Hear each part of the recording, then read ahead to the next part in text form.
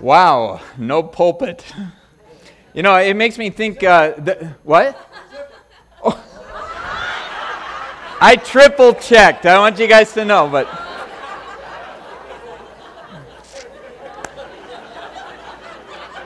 That's all right. It goes both ways. I remember the very first time that I ever taught in an environment like this where I had this kind of music stand. I was so nervous because, you know, a pulpit at least gives you some protection. You can dive behind it if you have to or whatever. And, and I had one that didn't really adjust all the way, and, and I was being videotaped. And I kept doing this up and down because I was nervous. I didn't even notice it. We watched it later. It looked like I was pumping up a tire. I was up there the whole time like this. So I'm going to try not to do that tonight. Uh, not that I'm not nervous, but hey, uh, let's just ask the Lord to bless the time that we have and uh, thank Him for what, what, He's doing here. Father, it is an amazing thing uh, just to be even surrounded in this environment by all the things that the kids are enjoying. And Lord, we're just your kids. We're just big kids. We, we need uh, instruction for you, and you've brought each one of us here for. Uh, the same basic purpose, which is to get to know you or to get to know you better. For those of you those of us who already know you, Lord, you're just uh, wanting to draw us nearer to you. And if there be any in this room here who have not yet come into a saving knowledge of your Son, Lord, I pray that this would be their day, just a, a time for you to make all things clear and obvious to them from your word. And we thank you for an opportunity to look at your scriptures here tonight because you have preserved them for this purpose to change our lives and to give us the abundant life that we so desperately need and only you can give. In Jesus' name, amen. Well, we are at, as you know, the end of the book of Ephesians, chapter 6. And as you can see from the slides that are up here, the theme of this book has been higher ground. And it's really about living above that level of mediocrity, you know, above the earthly level, to actually have a spiritual life that goes from glory to glory, as the Bible puts it. And as we think of the theme of higher ground, I want to put a picture here in your mind, which is imagine yourself hiking to the top of Mount Everest. That's the highest mountain in the world, the highest spot on earth. And it's 29,000 feet above sea level.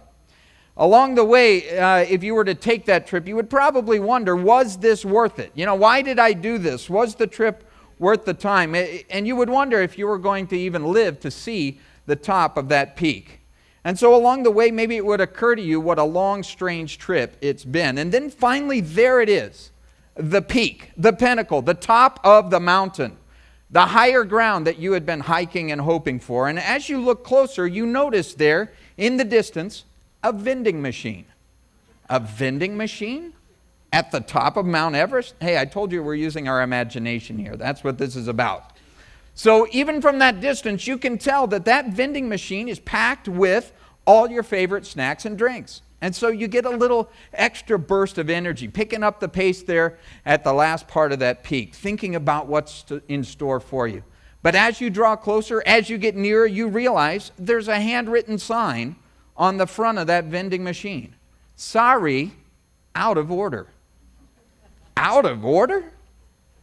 Well, how would you feel at that moment? As you put that picture in your mind, I'm sure there would be disappointment, there would be frustration, there might even be anger. I don't know if you've ever assaulted a vending machine before when it took your quarter or whatever, but that would certainly be a time where you say, I wonder how far this thing could fly off the mountain if you were to shake it. And so I titled tonight's teaching, Out of Order. Why? Well, we've all seen that sign on soda machines, ATM machines, photocopiers, gas pumps, even public restrooms. I thought it was great irony here. I walked into our own men's bathroom here, and for the first time that I can ever remember, there was a sign that said, Sorry, out of order. I guess the kids kind of put it through its paces today or whatever, and that was too much for it with the VBS. But we know what that sign means when we see it. Something isn't working properly, something is in need of service and failing to function as it was designed. And so it means we aren't going to get what we need, what we want, what we expected out of that thing. When something's out of order, well, on the one hand, it can be just a minor inconvenience, but it can get to be a major disaster. And I suggest here tonight that we might need to hang that sign on the door of many modern homes out of order. When it comes to marriages, when it comes to parenting, jobs, uh, even our personal priorities, things are often out of order, not working properly, in desperate need of some service, failing to function as God designed. And so you need to know this first of all that God is a God of order, that He is one who brings order out of chaos. And so the world was made to work a certain way. He has a design, a divine design.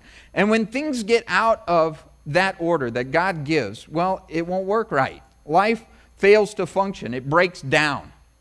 And so, sad to say, again, many Christian homes are just as out of order as heathen homes. Now, why is that? Well, I think there's at least two main reasons. And the first is ignorance. You know, people come to Christ and maybe they don't right away know that God has an order, that He has a different order than the way the world teaches and knows. And so there can be that ignorance. I didn't know. And there's nothing wrong with that. God has an order? Oh, I didn't know. I was ignorant of that. God has a way? Yes, it's seen in Ephesians 5 and 6 as uh, two of the spots where it lays it out very clearly God's order in our lives. But the second reason is a little more troubling. For others, it's not ignorance, it's ignore ants. You know, it's a different way of emphasizing that. Ignore ants. Well, what I mean by that is I know what the word says, but I ignore it. You know, I, I'm not ignorant of it, but I am ignoring it. I think I know better. I think I know a different way. And, and really, that is the greater danger, maybe for many in this room who would call themselves Christians, myself included, that we'd say, you know what, I know it, but I don't do it. Because so often it's not that we don't know what to do, it's that we don't do what we know.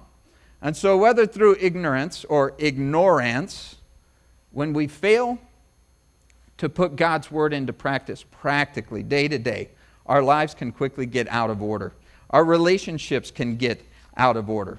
And so, a good question to consider tonight is if, if your life is chaotic, if it's out of order, if it's dysfunctional, are you really putting into practice what God's word says so clearly? Uh, see, the thing is, the good news is that it doesn't have to be out of order. Your life doesn't have to be out of order. Ephesians 6 is exactly about putting it back into order, into the order that God had as his divine design. And of course, many Christians want to change the world, but as the saying goes, if you want to change the world, sometimes you have to start at home. And so let's look at a very practical chapter here that does start exactly there in the home. Ephesians 6, verse 1, it says, Children, Obey your parents in the Lord, for this is right. Honor your father and mother, which is the first commandment with a promise, that it may be well with you and you may live long on the earth. Now, just thinking about some quick contrast there, you have in order. What is in order? Children obey your parents. That's God's order. What's out of order? Parents obey your children. You know, some, some of the kids say, hey, I like that one. Where's that one found? Well, it's not found here. You're not going to find it. You can look through the scripture, you're not going to find it. Now, as I teach on the subject of family and parenting, it's a pretty dangerous thing to do. Why? Two of my kids are in this room. At least they better be. Two of the three, are they there? I think Stephen's over there. Bethany somewhere in here. Oh, kids ministry serving. Now that's good. Okay, hopefully. hopefully that's what she's doing. Now, let me make the disclaimer up front. We do not pretend to be perfect parents, and we certainly don't have perfect kids. And anyone who knows them uh, or knows us knows that both of those are true. Now, Here's the thing I threatened our kids uh, before we left home to make sure that they would at least be on their best behavior tonight. So if anyone was paying attention during this study, they'd say, wow, what well behaved kids. But that was just, uh, you know, that's what death threats will do for a kid. But somewhere along the line, here's what's happened in our world, which is that some psychologists convinced a, a lot of American parents that the way to raise kids is to let them do whatever they want. You know, that you want them to have that free spirit. You want them not to have their little self esteem damaged, you know. And a while back, I read about this that a whole school system had told the teachers that they could no longer use red pens to correct the kids' papers. Why? Too traumatic. Red, no, too dramatic. What you need is a happy color. And so all the teachers were told, you have to use a purple pen. I'm not making this up. And so they would mark them with a purple pen, a little smiley face. You know, an F is still an F in whatever color you get it. You know, it may be a happy F, but it's still an F when you bring it home. And so from that school of thought and from that kind of thing, you see so many parents think, this is what I'm supposed to be. I'm supposed to be their buddy. And so they have that thing out of order. Parents, obey your children. You know, whatever your kids want, that's what they need to have. And so, out of order. And the problem is, if your car fires the cylinders out of order, you know what happens? It backfires. And if you order your home out of order, you know what happens? It backfires. You think you're going to be their buddy, you end up being their worst enemy. See, our kids knew right away in, in in the Bible where Ephesians 6 1 was. Before they could even really uh, find other scriptures, we made sure this one was highlighted. You know, give your kid a Bible and have this one highlighted already. Here's, here's a gift, write it from mom and dad, Ephesians 6 1, you know. Make them memorize it early. And I'll never forget this. It's kind of funny. Again, there's, there's what we know and, and what we do, and sometimes the two don't always add up. And I'll never forget this. Our son, Stephen, he's 14 now. Uh, but he was, when he was three years old, I came into the living room one day, and there he was pacing back and forth, not on the floor, but on the coffee table. Now, I don't know about the rules that you have at your house, but that's one at our house that the coffee table's for coffee. Uh, well, actually, it's not even for that, it's for nothing. You're supposed to just have it there and not touch it, you know, but. But there he is walking back and forth. Now that's bad enough, but here's the great irony of it. He had in his hand his Sunday school papers with his memory verse. What was it? Ephesians 6 1. Children, obey your parents. Children, obey your parents. And there he is, walking on the coffee table, disobeying his parents. Now, I didn't know whether to discipline him or, or to congratulate him on his great memory of the verse. But as we think about that example, again, knowing a truth is not really as important as doing a truth. Obviously, you can't know what no, you can't do what you don't know. But it's so important that you can't not do what you know. The Lord says, hey, we need to not just be hearers of the word, but doers of the word. And so, again, we aren't perfect parents, we aren't perfect people. That's the very reason everyone in this room, wherever your life circumstance finds you, as a child, as a parent, as a parent to be, as a grandparent, as an aunt, as an uncle, whatever it is, we need to order our lives in God's way because the only other alternative is to be out of order. And I can safely say that for the most part, our house is generally in order rather than out of order. To our glory? No. To God's glory. Because, see, the thing is, we know what it is to have out of order things too. And we know what it is to try to do things our way and it didn't work and it doesn't work. And so we have become more and more over the years committed to ordering our home God's way. And so it starts right there in the house with that children obey.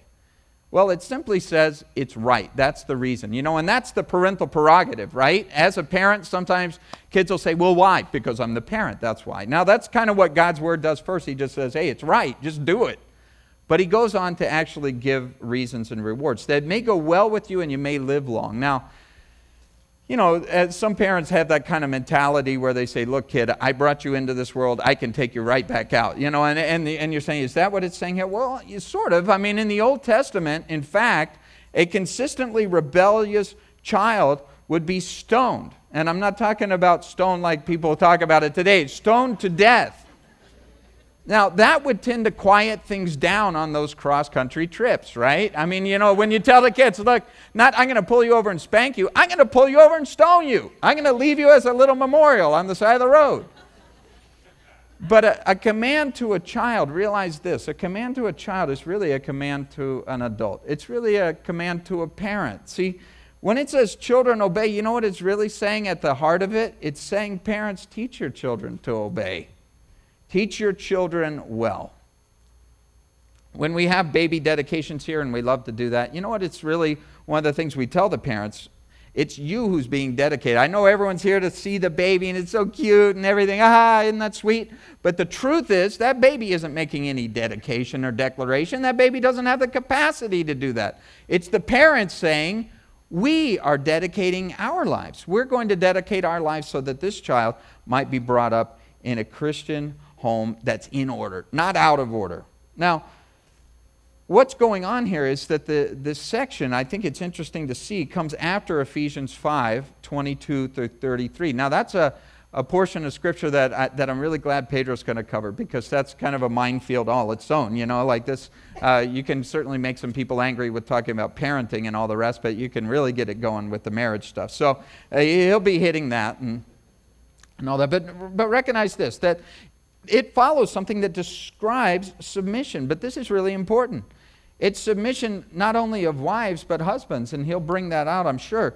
But uh, uh, Lukey will make sure that he does, because if he doesn't, he'll be in trouble. But it says submission to the, the husband. Well, that's the husband they're also submitted to God, and that's how you have an in order home. See, anything other than that, than mutual submission, really, to God and to each other, is really going to be out of order also. And so, you know, I do a lot of relationship counsel. I like doing it. I, I really like meeting with people and, and sharing with them God's truth because I like to see lives get in order. You know, God has done so many miracles when you just see the simple truths. Again, sometimes just people not knowing these things, as soon as they see the truths, God brings them to light in their life. But it's a common complaint that people have hey, my marriage isn't working. My marriage isn't working. You know, they come in and it, it's like they've hung the sign over it, you know, over their spouse's head, out of order. This, this person's messed up.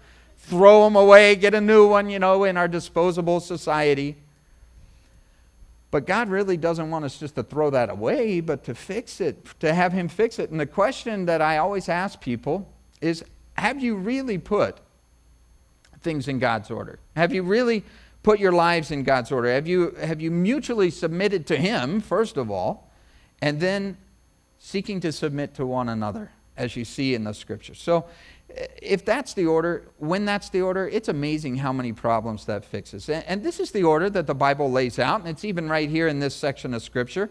It's God first. You see that way back in Ephesians 5:18. It talks about that. Then it goes on to talk about spouses, and then it now talks about kids, and then it'll go on to talk about career. And again, if you were to think about that in a priority order, you got God, spouse, kids, career. And if you just mentally think through it, you can say, well, am I in order? Am I out of order? Is that something that makes sense? Because you flip flop any of those things in there and you'll start having trouble. And so, so often I hear people say this we're staying together for the kids. And I think, yikes. You know, you're, you're probably not doing the kids any favor. You're certainly not impressing God with that. Uh, here's the thing staying together for the kids. See, the best thing you can do for your kids is not just to stay together miserable. No, to actually get things in order, you know, so that what you can do is have a life that's in order, submitted to God, submitted to one another. That's what's really going to bless the kids. Loving God and one another. And husbands, the Bible says, love your wife sacrificially.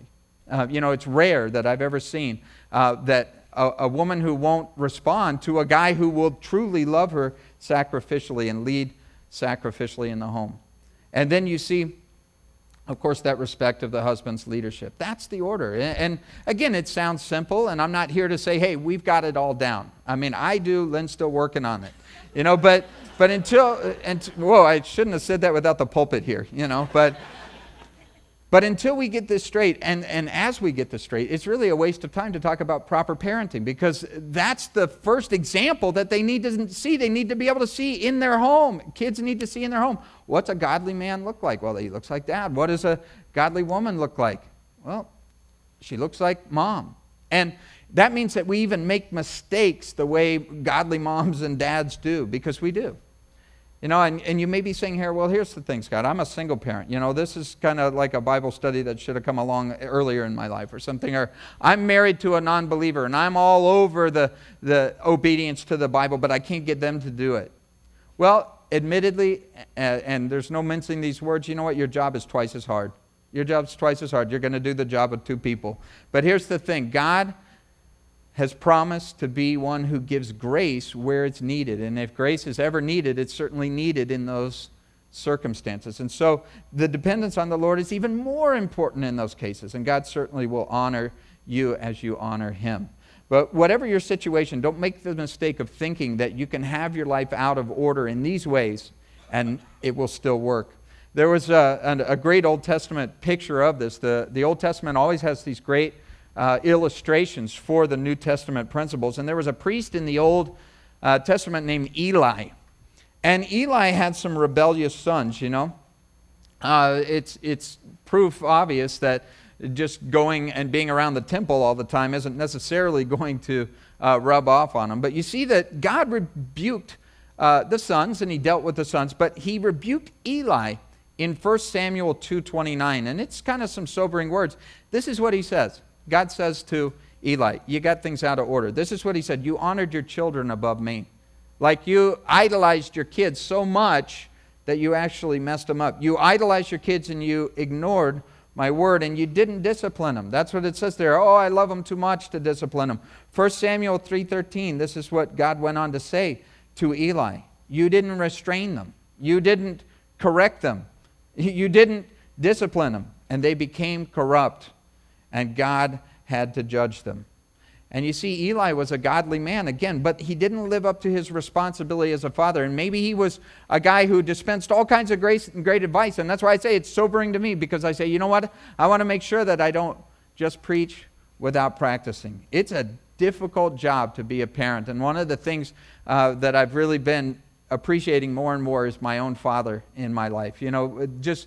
Uh, so many years, uh, I, I thought he was really messed up, and I found out, you know what? Uh, this ain't easy to do. And it's, it's a little illustration that, that teaches us this. I was, uh, when I was growing up, I would watch my dad drive, you know, and uh, it's not always a good idea, actually. You don't always learn good things there, but uh, you learn words that, uh, that you one day our kids, I got to say this to embarrass our grand, uh, grandfather at some point, which is one day Stephen came home and, and we were uh, in the car and he yelled, Hey, move that bucket of bolts, you know, to something. I said, Well, where did he learn that? And then, then I was, uh, you know, with Lynn's dad, uh, Bill, and, and he said, Move that bucket of bolts, you know, to something to the kid. Whoa, that's where he learned it. But, um, but the grandfather's been an excellent, excellent, excellent uh, example in most other ways. But anyway, I was watching my, my dad. I got to be careful. There's just could he reach me from there? I don't know. Um, but on the, on the steering wheel, my dad, as he was driving, used to just lift his hand like this all the time. You know, he'd drive down the road and he'd do that. And it's one of those little mysteries from being a kid that you'll see something and you go, why, why is that? Why does he do that? You know, and I never thought to ask or anything, but I just you know, watch him do this, watch him do this while he's driving. I thought, hmm. And then I turned 16 and I got to drive that same car. And you know what? In a certain range of the speedometer, you couldn't see the speedometer unless you lifted your hand like that. And I, the first time I did it, I went, the mystery of the universe has been solved, you know? And so often in life, you find yourself going, why did my parents, oh, that's why my parents, oh, okay, and, you know. Stick around a little longer, you'll see some of those things. And so, if you love your children, discipline them, please. You know, teach them to obey you and teach them to obey the Lord. And, and I, I remember something from a couples retreat that we went to, and it was just awesome the way the guy said it. He said, Our kids are criminals. They're little criminals. You know, he was saying they're at home right now with some babysitter or something while you're here, and they're little criminals. And we need to pray for them. We need to help them have a change of heart. You know, they're just like we were. oh, no. You know?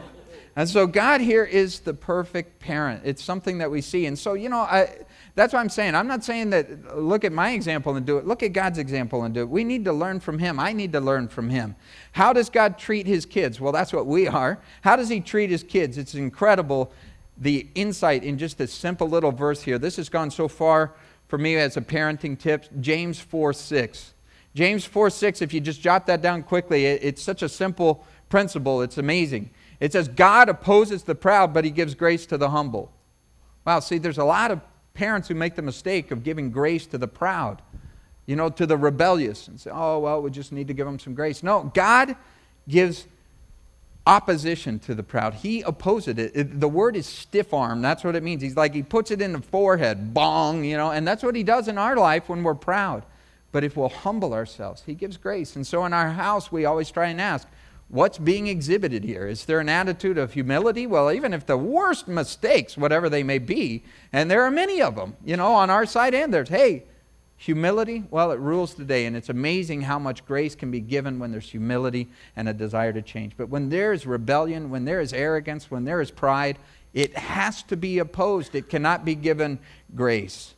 And so you know, in our, in our house, somebody many years ago, again, you walk with the wise, the Bible says, and you will become wise. We didn't have any clue what we were doing. You know, they issue a baby to you, and you're like, wow, what, what do I do? You know, I remember coming home from Baptist Hospital with the flashers on. You know, I was driving like 15 miles an hour and I was, uh, you know, yelling at people in Miami. I'm like, what's the matter with you? You know, there's a baby in here and stuff. And, but I remember driving away from the hospital and thinking, they're letting us leave.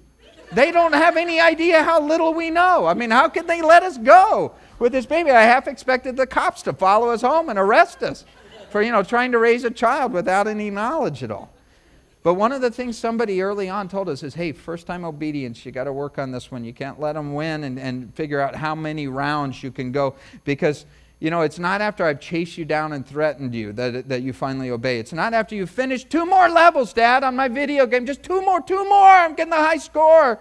You know, because delayed obedience is still disobedience. And it's just teaching a person that there is a lag time between uh, what I say and, and what you need to do. And I don't want to teach my kids that the first two times I say something can be ignored. Ah, the first two, those are the freebies. It's the third one where he really blows up, you know? Why? Because they'll do the same thing with God. We're training people in everything we do. We're being trained in everything we do. And you know what? God doesn't give me two freebies and then expect me to, oh, Scott, do this uh, on the third try, you know? Yeah, yeah, God, I, I got the high score. Hold on, man. I, I just I'm doing something here. Just let me finish here, and then I'll, I'll obey you. See, and, and, that consistency is so, so important because kids are very, very smart. You know, we think they're dumb. If we think we're dumb, if they're dumb, uh, we're wrong. You know, kids figure us out very quickly. I, have seen six months old who, who can outsmart their parents very, very quickly, you know. But that, out, uh, that, that united front is so important because to ask your mom, ask your dad. Well, I asked my mom, and, and she said to ask you, and she said it was okay if you said it was okay, and all this stuff. And you're like, let's get everybody in the room at the same time. You know? Lynn, what, you know, uh, let's talk about it with the kids, and then we'll go in the other room and we'll come back with an answer, you know, and that's what we're going to do. And again, the, the, the thought here is consistency uh, because the way they obey their parents, the way our kids obey us, is the way they'll obey God. And this is a struggle worth having. It's a fight you can't afford to lose for their sake or for your own.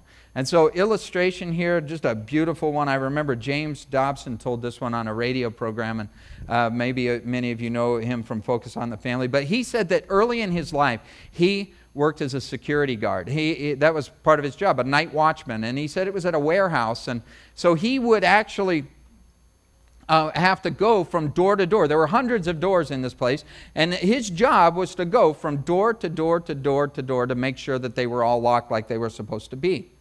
And he said, Here's the thing my job, you know, was kind of checking all the doors, but the worst thing that could happen to me is when a door that was supposed to be shut and usually was shut was now all of a sudden open. He said that was when my heart started racing, and, you know, I, I just I hated that part of the job. I had to then go in and, and figure out why it was open and what the problem was. And he said, You know, I thought through that, and that's exactly a picture of what kiddom is all about. You know, the kids are programmed almost by God. And I, you know, I, I'm not so old that I can't remember what it is to be one, and I still have this tendency sometimes, which is to push boundaries. You know, to say, well, why is that door open? Uh, or why is that door closed? And why isn't it open? And, and, and let me check on it, you know? And it was, it was closed last week. Is it still closed? You know, can I push on that thing? And, and, and that's what kids do is they'll say, well, I know the rule was this last week, but is it the same this week? Is, is, is this a negotiable? Can I push this one? And that's their job. But it's our job as parents to make sure that the doors that should stay shut are shut. And there's nothing more uncomfortable, truly, in a kid's life though they would never admit it. When a door that was supposed to be closed and was closed last time is open this time, and you go, Well, which one is it? I never know. I never know what I can do. So they're going to push the doors. That's all right. It's part of being a kid. But we're going to make sure that those doors that should be shut are shut. And I'd rather they not like me now and come to appreciate me later than vice versa because I know a lot of kids who had cool parents, man, when we were growing up. And I look back now and I think that wasn't so cool. You know, and some of the things that went on weren't cool at all. And so, one of the cruelest things you can do is not teach your kids submission and respect for authority. Why? Because if they don't learn it at home, they're going to have to learn it somewhere else. And here's the thing when a life is out of order, it makes just such a disaster of that life and every life around it. And there's a hard way to learn. See, I think uh, at our house anyway, we try to teach our kids with love. We try to teach them and discipline them with love. But see, the world doesn't love our kids. You know, we wish they did, right? Doesn't everyone love little Boopsy the same way I do? No.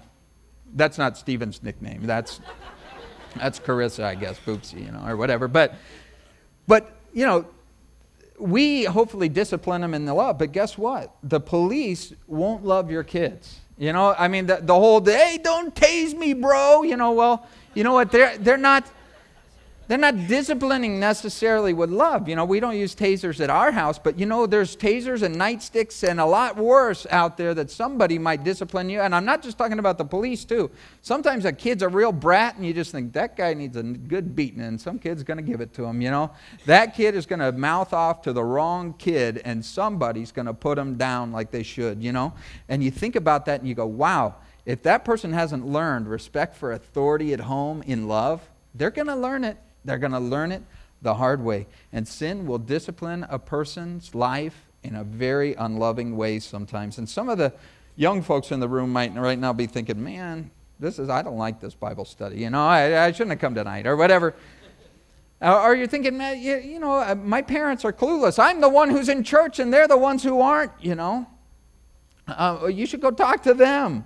But here's the thing there's nothing that'll get through to a parent quite like a kid who has a relationship with God. We've seen so many parents brought to the Lord uh, through this ministry just simply because there's an amazing group of kids here who are you know, sometimes putting us to shame. And, and that's good. You know, we, we want that. We desire that. We look on, we say, wow, we have failed as a church if we do not pass the torch. And so we're looking at those things, and we've had people question even, why do you go to all this trouble? You know, why do you do all this stuff and go all this work? Why? Because this is the most important thing. You know, this is the most important thing to pass this on to the next generation. And so, you know, you think about this, my kids right now might be saying, oh man, dad's clueless, you know. But I, I, it was Mark Twain who said this that when he was 15, his dad was a total idiot. And he said, It was amazing. By the time I was 21, my dad was getting smarter. And by the time I was 30, my dad was a genius. Now, you think about that story, it, it wasn't his dad that was changing, it was Mark. It was Mark coming to understand these things. And personally, when I was 15, I thought I knew everything. You know, I really did. I thought, man, my parents are so clueless. But think about this Jesus was 15 once, and his parents, compared to him, were very, very clueless. clueless. He really did know everything. I mean, he was God. He knew a lot more than Mary and Joseph, no matter how smart they may have been. And Luke 2:51 says this, as a teenager, as a young man, Jesus was subject to his parents. He was obedient to his parents. He had an in-order life, even though he could have ordered them around even and knew a whole lot more than they did. But part of that knowledge actually was a humility. See, it's not a knowledge that leads to arrogance that God is impressed with. And so God here in this picture, even with Jesus, he obeyed and he honored even much less perfect parents than he was.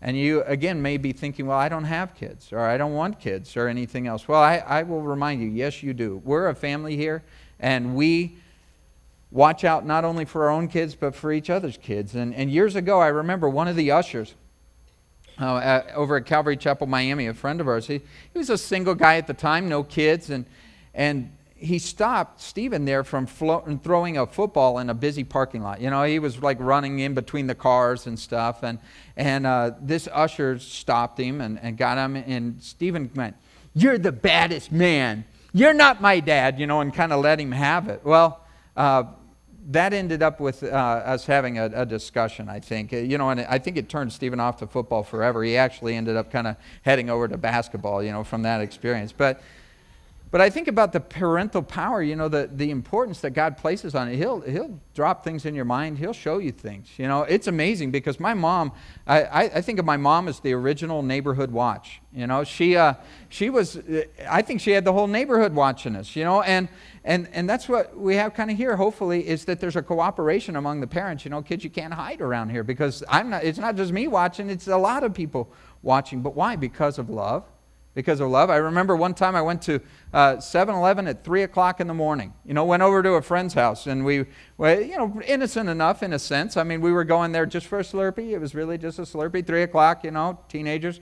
We weren't supposed to leave the house, but we snuck out. We wanted to get a Slurpee just a few blocks. Next morning, my mom says, How was your Slurpee? I said, What? What's my mom doing up at 3 o'clock? What she, you know, she got the surveillance camera from that place? She has never admitted to this day what it is. I, am starting to think maybe it was just the Holy Spirit, you know, uh, word and knowledge there. You know, just a supernatural thing that uh, somehow they know, you know. And so verse 4, it's great because it says, You fathers. You know, it's not just about the kids. You fathers, you do not provoke your children to wrath, but bring them up in the training and admonition of the Lord. And I love this because the Bible is always so balanced because, you know, someone could say, Yeah, we're going to have an in order house and everybody's going to do my orders and these are, and I'm going to rule with an iron hand. He says, Wait a minute. Is that how God orders our life? It's not the way God fathers us. And see, here's the thing if we expect our children to be obedient, what it's saying here is we need to be obedient. If we want them to be in order, well, we need to be in order. That's what it's saying. We discipline our children. Well, that requires discipline in our own life, to be in self control, to be in the control of the Holy Spirit. And I, I think about it this way, and you know, I don't always tell so many stories with our kids, but it's a teaching on family, so I guess it's only natural that I would do so. But there was a time when uh, one of our kids, and it happened to be Stephen, was, uh, was pushing my buttons. You know, he's about three years old at the time. Again, this, this is when the times, uh, those are special, special times when you're doing a lot of uh, learning and all this. And, and he was just, you know, I was trying to do something in the home, a project, and he was just whining and whining and whining and whining and everything. And finally, I turned to him and I stuck my finger in his little face and I said, Look, you need to grow up, mister. And then I, it was like God was sticking his finger in my face and he's going, You need to grow up, Pastor. You know, and I'm like, Oh man, busted. You know, so, so often here I am yelling at a three year old that he needs to grow up. And he has, and he is, and I'm proud of him, and he's growing up. But you know, you, you see those things if our world is out of order, if our world is out of order, there's no way we're going to be able to bring order into our homes. And the world is more out of order than ever. I mean, I, I look at it and, you know, we used to, when I was growing up, people used to say, oh, you kids have it so good. It was so hard when we were kids. But you know what? I think this is a generation that I can honestly say there's a flip flop to that. Yeah, I, I think this generation has a very tough task. I believe personally we're living in the last days, and I look at that and I say, the last days are going to be some tough days. The Bible says that they would be. And I look at these things and I say, you know what? I think we actually had it a little easier when I was growing up than the kids have it today. Not necessarily physically or materially, in many ways. The real issue, man, the spiritual temptation level is just unbelievable. I mean, Facebook, we didn't have Facebook. MySpace, we didn't have any of that stuff. We didn't have a pipe you know, a big, huge T1 line pumping filth into our house every single day. If I wanted something, you know, sinful, I had to kind of work hard to find it, you know? And now it's like it chases you. It pumps up. I don't even, you don't even want it. It's still there. And so in your face. And so this generation, like none other, hey, we need our homes in order because the world is going to be very out of order for them. And that's why I love the words of Joshua as he said it in the 24th chapter. As for me and my house, we will serve the Lord. That's all I know. As for me and my house, we're going to serve the Lord. And parents so often use this argument. I hope it's no one in this room that, that has this mentality, but they'll say, you know, I don't bring my kids to church. I don't force them to go to church because, you know, I want them to make their own decisions about faith. I want it to be their own thing. And, and so mommy and daddy are going to go to church now and, and, and you know, do you want to go or you don't want to go? Uh, or would you rather stay here and watch some, you know, TV while we're gone or whatever? Let them decide for themselves. Is that really that smart? I mean, think about it. Do you do that with school? Do you do that with regular school? I want them, I don't want them to hate math so I don't make them go to school. I don't want them to hate English, so I, you know, I let them decide if they want to go to school or not. Personal hygiene, I don't want them to grow up hating brushing their teeth, so I just let them decide whether they want the plaque to stay or not. You know, showers, oh, I don't want them to be afraid of water. I want them to make their own decisions of how important it is to get clean. Are you kidding me? We don't do that in any other area of our lives. Listen, what's so encouraging to me, you know, we have had to force our kids at various times to come to church. But you know what they do today? They beg to come. They beg to come and they serve at different services. And again, uh, is that to our glory? No, to God's. It's just the order that He said. You order your life, I'll honor it. And again, these can be tough topics because sometimes people say, I didn't do it right, or it's too late for me, or my kids are messed up, or whatever else, or I tried to do my best, I still don't understand what's going on here. Well, think about this for a moment as we bring that section to a close. Even the perfect parent, which is God, had rebellious kids. He had prodigals. You think about it, his perfect environment, perfect home, perfect garden for Adam and Eve, and they still messed it up. So, you know, as you look at that, it's no, it's no automatic protection of these things, but what it is, is it is a truth that when you raise up a child, they'll at least know as they're out in the pig pen that there's a different way to live. And sometimes the pig pen has to do its work. But you see this in order thing. Children obey your parents. And then as he goes from the home, he goes now and turns to the work world. And so you see it in verse 5. It says, Bondservants, be obedient to those who are your masters according to the flesh, with fear and trembling and sincerity of heart, as to Christ not with eye service as men pleasers, but as bondservants of Christ, doing the will of God from the heart. With good will, doing service as to the Lord and not to men, knowing that whatever good anyone does, he will receive the same from the Lord, whether he's a slave or free. Now, again, looking at the contrast here, what is it in order? Everyone ought to be able to stick that bumper sticker that maybe you've seen that says, My boss is a Jewish carpenter on their car. I work for Jesus. Whatever you do, you work for Jesus. Out of order? Well, it's I work for jerks. I work with jerks. I am surrounded by jerks, and so I'm going to work like a jerk too. You see, it's really hard to live our Christianity at home. That's true. Uh, but it's even harder still to take it outside that circle and live it out there in the real world. And there are a lot of jerks out there. You know, in one place, the Corinthians in the scripture were described as always liars, evil beasts, and lazy gluttons. And you think, man, I must work with uh, coworkers, Corinthians. You know, they're probably from there. Always liars, evil beasts, and lazy gluttons. That's them. And some of you would say, well, Scott, you know, this is easy for you to talk about. I mean, you work at a church, right? I mean, there's no lazy gluttons around here, or evil beasts, or, or liars, or any of the rest of that. But see, I've been working since I was a teenager, roughly, you know. Fast food, I've done that. You know, mowing lawns, that sort of thing. Work construction. I've uh, done 10 years in the corporate world and been in the, in the church world and, and all the rest. But here's the thing in different places, the bottom line is there's jerks everywhere, and it's rare to find people who work. Uh, it's hard to find people who are honest and keep their word and don't cut corners. That is really tough to find. And when this was written here, it's written, it says to bond slaves, you know, to bond servants. And, and in that time, a third of the Roman Empire were slaves. And sometimes people have gotten so hung up on this that they miss the principle. The Bible is not supporting slavery here. It's not saying slavery is a good thing. It's just simply recognizing reality, which I love about the Bible. It doesn't like live off in some world that doesn't really exist. It just says, hey, this is the reality. There's bond servants out there and there are masters out there, and this is how to deal with those things. They're not going to change tomorrow, so let's figure out reality and how to deal with it practically. So what he's saying here is whether you are the master or the slave, God is ultimately your boss, the boss of both, and he deserves your best wherever you find yourself. And, and you might say, you know what, they treat me like a slave at my job. Well, I doubt if they really do. I mean, they pay you probably. Even if you say it's minimum wage, it's not that much or something. But, you know, uh, they pay you and you're free to go. You, you could go. Say, well, what else would I do? Well, you're still free to go. And so, how much more if this is a principle that applies to bondservants and to masters, many of them to be heathens? Hey, this principle certainly applies to voluntary employment, which is what most of us are involved with. Now, this is what I want to really show you is that they build on each other because see, obedience to employers, verse 5, really is birthed in the home. It's something that starts from the very beginning in verse 1 through 3 with the honoring of your parents. When you learn to deal with your parental authority, it's going to be really nice if you go out into the work world and, and have that already there. And sometimes with our kids, you know, we're, we're teaching them chores, you know, and all the rest.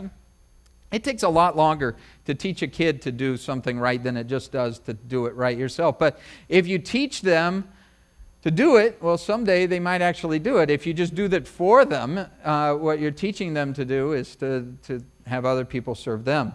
And so sometimes with our kids, I'll say, hey, if I were your boss, I would fire you. But because you're my kid, I won't fire you, but I'm just going to try, you know, we're going to try this again, you know. But, but I, I want them not to get their first job and have it for a day because they don't know how to uh, you know, to submit to authority. And so we're teaching our kids, even as they're in our home, hopefully, to learn to be good employees someday. And one of the things he talks about here is eye service. What's he talking about with eye service? That's when a person is working while you're watching, you know, working while you watch, but the minute you're not watching, back to playing solitaire. You know, there's a lot of people out there that solitaire and alt tab is their favorite key to be hitting. Here comes the boss, alt tab. You know, you can do it fast spreadsheet, you know, numbers all up there. Hmm, yeah.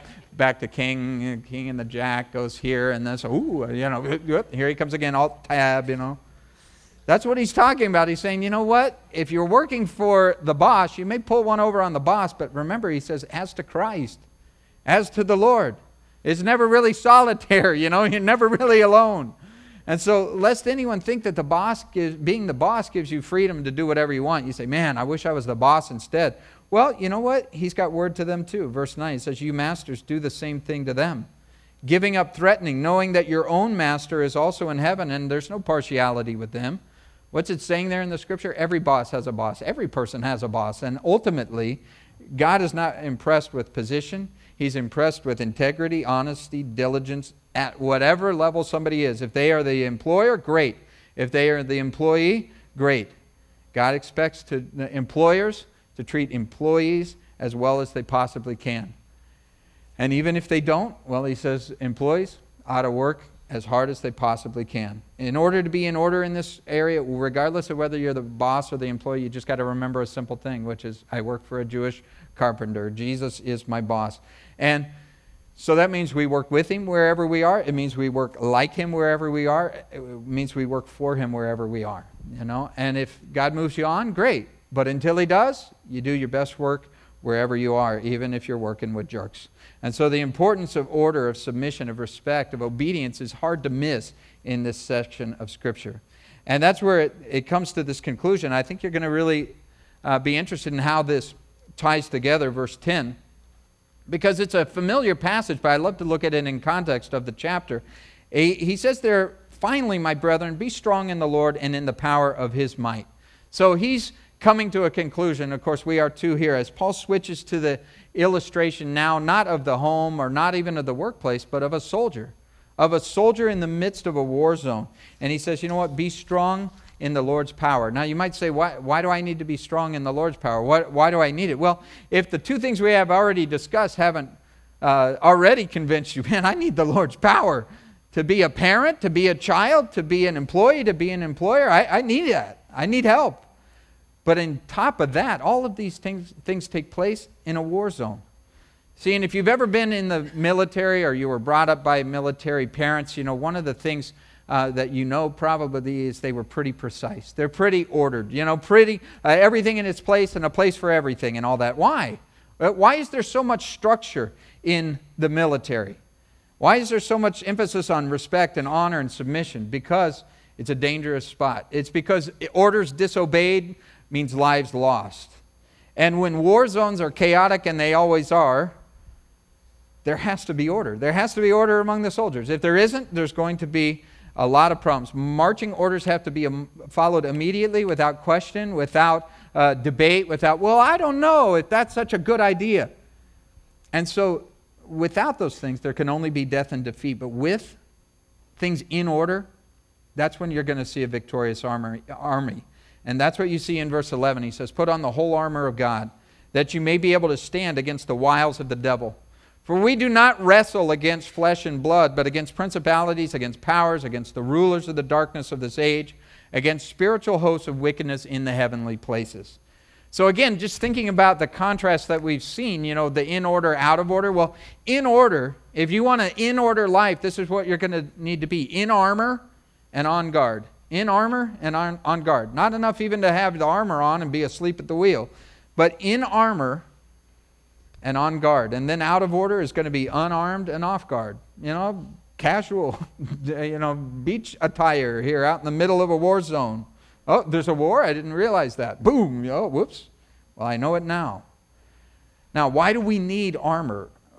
Again, just a simple statement. If you see that, you go, the whole armor of God. Why would I need armor? because we're at war. With whom? Well, verse 12 says it the devil and his demons. It gives a long uh, description of that, but that's what it's talking about. And if ever there was someone who's an example of someone who is totally out of order, somebody who is the author of chaos and all that, it is the devil. And the thing that, to know is that once he was on God's side, in fact, he was at God's side.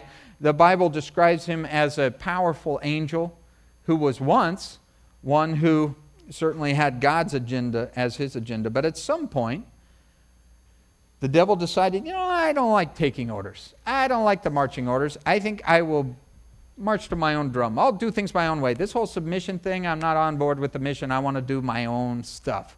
And so Isaiah 14, 13 says it this way I will ascend, I will exalt myself, I will be like the Most High. You see, certainly arrogance and lack of submission there. And there's two extremes in the church, of course too much emphasis on the devil and too little. I mean, those, both of those can get you into trouble. And so, you know, certainly not an, a, a, desire here on my part to minimize him. Uh, the Bible says that he came to steal, to kill, destroy.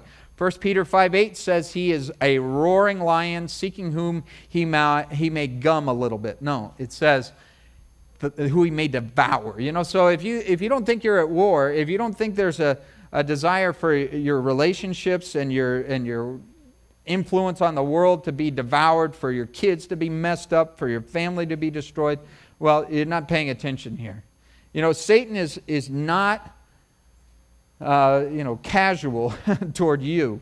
And so it's also important to see on the other side that, that he's not God's op- opposite equal. See, sometimes people think there's this great cosmic struggle and you've got God on the good side and devil on the bad side and they're equal and they're going like this back and forth. Listen, the devil isn't even in the match. You know, it's, it's like uh, when you get to see Ken Graves uh, in a few weeks, and, and, he's a grappler, he's a wrestler, the real deal, not the you know fake, fakey, fakey stuff. This is the stuff where they just you know get in there and two brutes just bust it out. But if you think of him uh, going against me, it would not be a real fair thing. But that's not even a, a comparison there to what we're talking about here. Uh, Satan's just a created being, a fallen angel, and he is far superior to us but he is far inferior, inferior to God. And so he's not omnipresent, he's not everywhere at once. In fact, probably, I don't know for sure. I know I probably never had a personal encounter with him. It was probably some buck private somewhere, some new scrub that just signed up, you know, in the demon patrol who, who bugs me because I don't know that I rate uh, the devil's interest. But you see him talking about wiles of the devil. You know, the wiles of the devil. What does that mean in verse 11? It means he's crafty, it means he's subtle. And one of the things he loves to do, first of all, he loves to have people not think that he exists. But then, uh, if you believe in God, you believe in God's word, you certainly need to believe that there is uh, a devil, a personal uh, evil that is against us very directly. And if you've been a Christian for more than a few minutes, you probably figured that out. But what you see is that he loves in his subtlety to get us fighting each other instead of him you know? And this is especially true in families you know? In, in, church families you know our own personal family but also in the church family here. And so you know he'll try and convince you that someone else is the enemy. You know your kids are the enemy. Oh man the kids they're ruining my life. Your spouse is the enemy. Your ex-spouse is the enemy. Your boss is the enemy. Your employees are the enemy. All of this and what ends up happening so often in our lives is we fight the wrong war because we're fighting friend, what's called friendly fire. What's friendly fire? That's when somebody in uh, your own troop shoots you instead of the enemy. You know, they're like, you're never going to win a war that way. And I try to remind myself constantly, you know, in our marriage, in our home, my wife is not the enemy. I mean, we'll start having a discussion, and I think, she's not the enemy. We have an enemy. And it's so much better instead of pointing our guns at each other to start saying, you know what? Let's get together on this one, point our hearts to God, and ask Him to beat this guy for us. And that's what you see. No, no soldier would willingly go to battle unarmed and unaware. And so, what are our marching orders? Look at it in verse 13. He says, Take up the whole armor of God that you may be able to withstand on the evil day. And having done all to stand, stand therefore, having girded your waist with truth, having put on the breastplate of righteousness, having shod your feet with the preparation of the gospel of peace. Above all, taking the shield of faith, with which you will be able to quench all the fiery darts of the wicked one. And take the helmet of salvation, the sword of the Spirit which is the Word of God. Now, this is a whole Bible study in and of itself. You could certainly go through each one of these and make a long series of it. But what I want to do instead is just take some time to think about this one main thought here, which is verse 11. It says, stand. Verse 13, it says, withstand. It says, stand again. Then verse 14, it says, stand again. Uh, I, am not the, the sharpest tack in the drawer, but here's the thing. When I see things like that that are re repeated like that, I start going, hmm. I know as a parent, I repeat the things that I think the kids need to hear. And so as a parent, I repeat the things that I think the kids need to hear. And so what you see here is God trying to tell us something. Stand, man. Withstand. How are you going to do that? What does that mean? That means somebody wants to knock you down.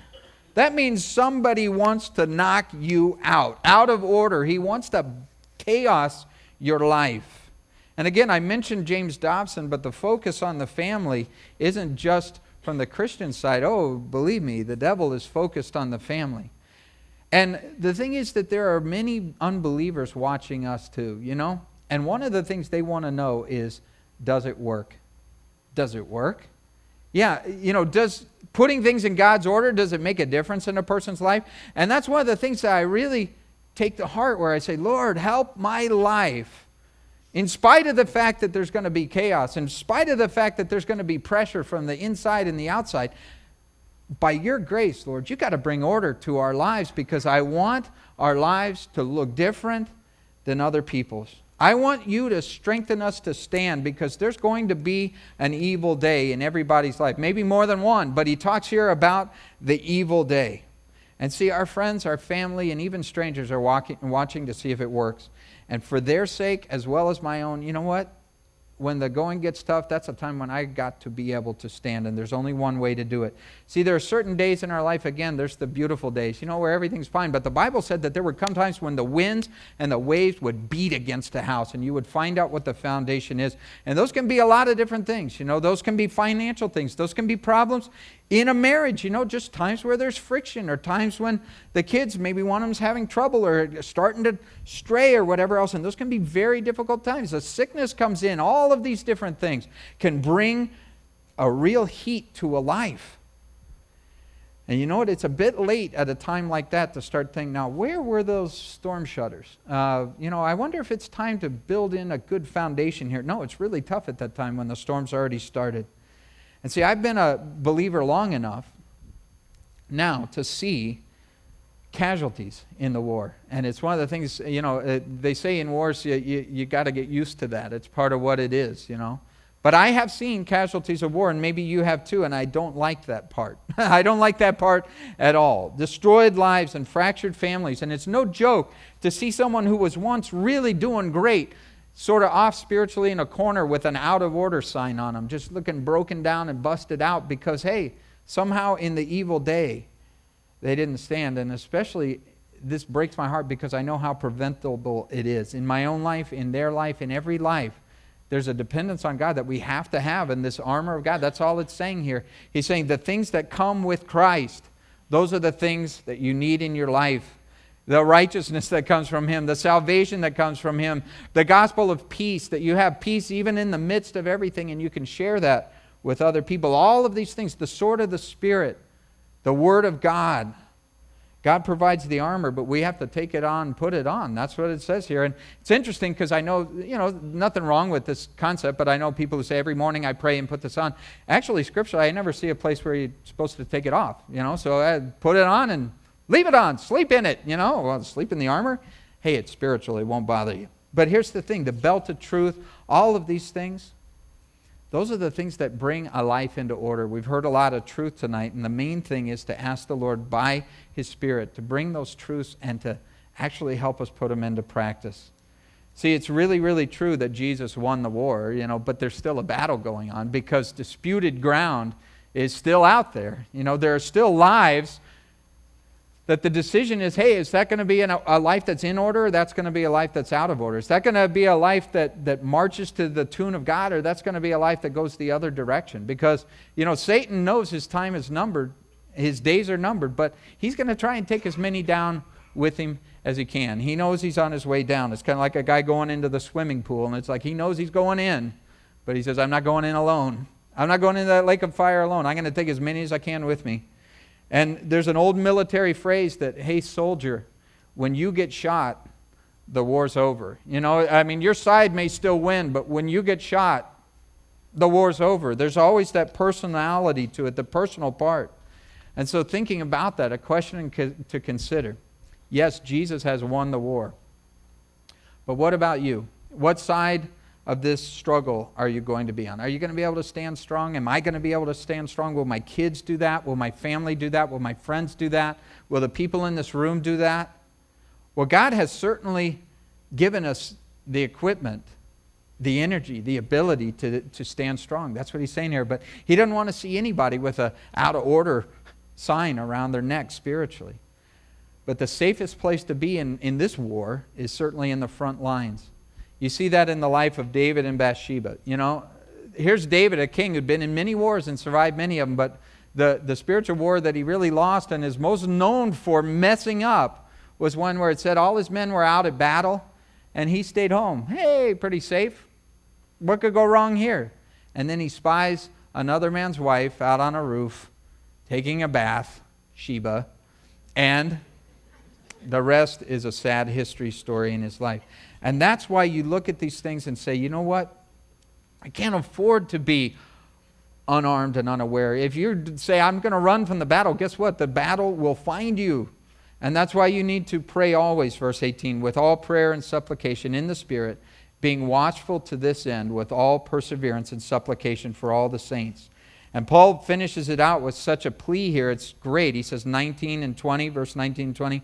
As for me, pray that the utterance would be given to me, that I may open my mouth boldly to make known the mystery of the gospel, for which I am an ambassador in change, that I may speak boldly as I ought to speak. Now, I don't know about you, but if I were in prison, I know what I'd be saying. Lord, may the lock be out of order. You know, tomorrow morning when I wake up, may I see a little out of order sign on the lock and it boom, and the doors are open and all the rest. But that's not the focus of Paul's prayer. He says, You know what? May my life be in order. May my mouth be ready to speak.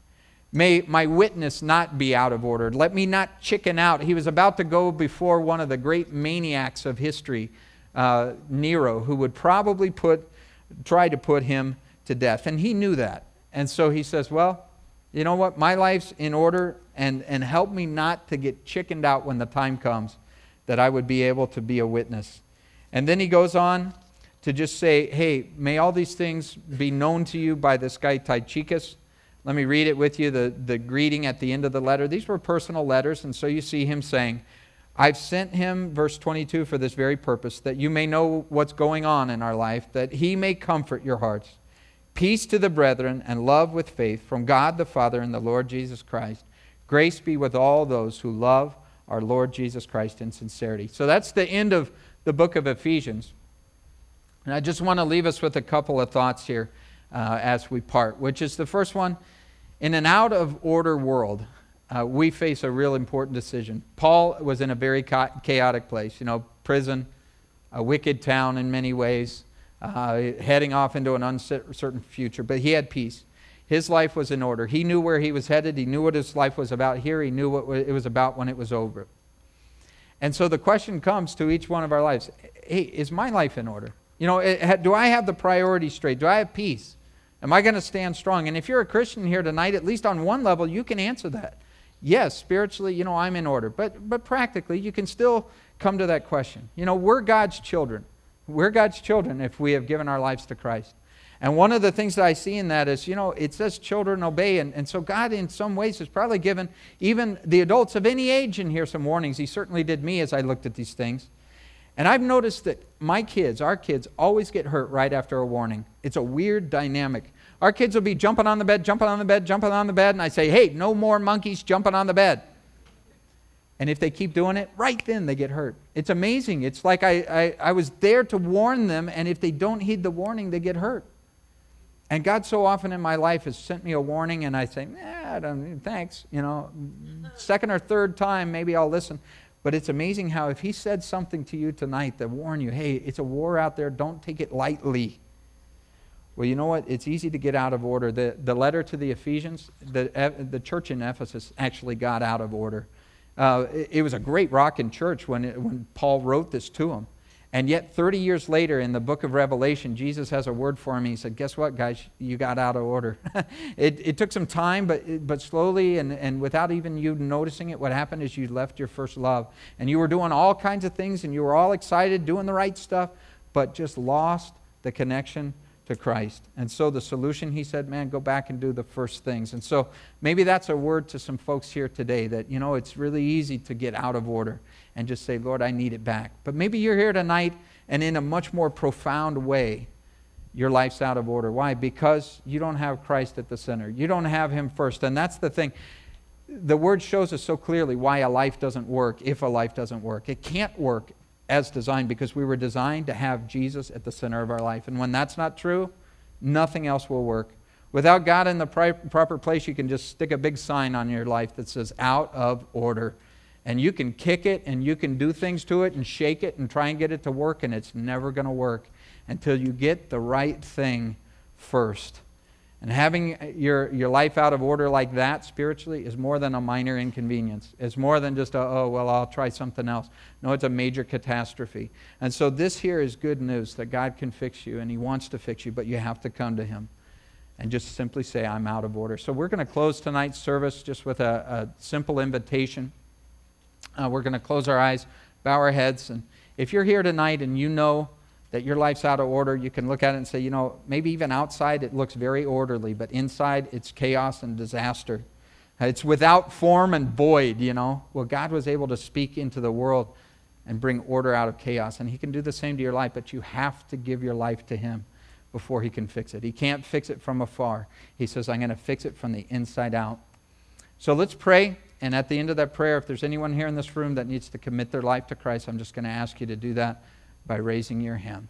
Father, I thank you for uh, these words here of warning. They are given by you as our Heavenly Father who loves us so deeply that you would even be willing to discipline us and risk uh, us misunderstanding that along the way to save our lives, to put us on the right path, and to keep our lives in order. And I pray for anyone here tonight. Maybe there is somebody here tonight who knows deep down that their life's out of order because you're not in it and that they have tried to be independent from you, but they're coming to you tonight with an honesty by your Holy Spirit to give their life over to you.